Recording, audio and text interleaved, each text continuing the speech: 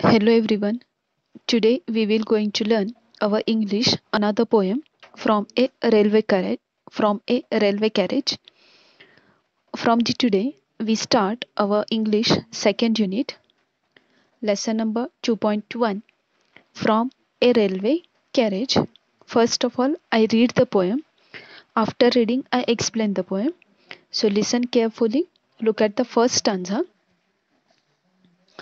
Faster than fairies, faster than witches, bridges and houses, hedges and ditches, and charging along like a troops of a bat, like troops in battle, all through the meadows, the horse and cattle, all of the sides of the hill and the plain, fly as thick as driving rain, and ever again, in a wink of an eye, painted station whistled by.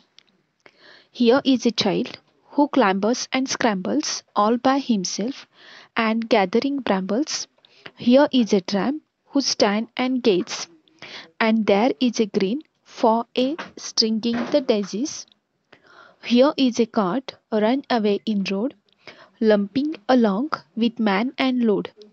And here is a mill, and there is a river, each a glimpse and gone forever. The present poem is written by R. L. Stevenson. Through this poem, poet describe various scenes from a railway carriage.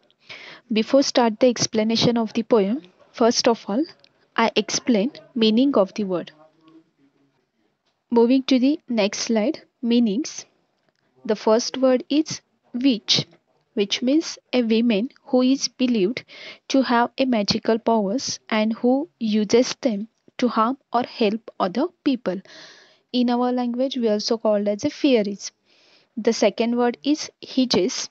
Hedges means a line or bushes or a small trees planted very close together. Third word is ditch. Ditches means a long, narrow, open channel dug into a ground, usually at the side of the road or the field. The next word is troop. The meaning of troop means a group of soldiers. Then the next word is meadow. The meaning of meadow is a field with grass and often wildflowers in it. Then the next word is clamber.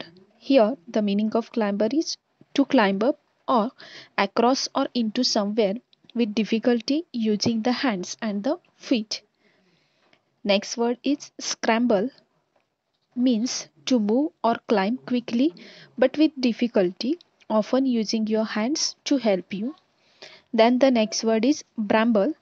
The meaning of bramble is a wild bush with thorns that produce a blackberries. Then the next word is tramp.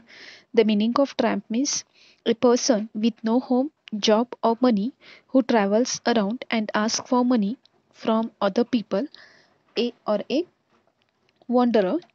Then the next word is daisy. Daisy is a one of the kind of flower or a small flower with a white petals and a yellow center which often grows in a grass. Then the next word is lumping. Here the meaning of lumping means moving with jerk. Then the last word is glimpse. Here the meaning of glimpse means something that you see for a very short time. Now again we come to our poem. Now I explain the poem stanza to stanza wise. In the first stanza, the poet describes many scenes from a window of a railway carriage. He says that the train runs faster than a magical creature such as fairies or witches. He sees bridges and houses, hedges and ditches. As early uh, earlier I told you the meaning of hedges and ditches. Then the horses and cattle in the meadows seem to run away uh, sorry seemed to rush away as if they were soldiers on a battlefield. Then in the second stanza again poet described that the train passes hill and plains. The sights there fly away as thick as heavy rain. Now and again painted stations passes by even before one can wink. As the train passes those sta- these stations the whistles of the engine is here. In the third stanza, poet says that Suddenly, one sees a child all by himself climbing with difficulty and gathering bushes with blackberries. Then one might see a jobless person standing and gazing. This will be followed by a green grass which children use to string the daisies.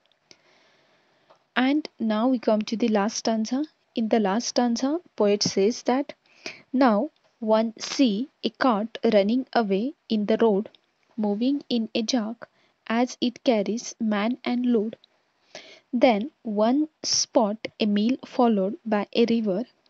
Each sight is seen for a very short time and then it is gone forever.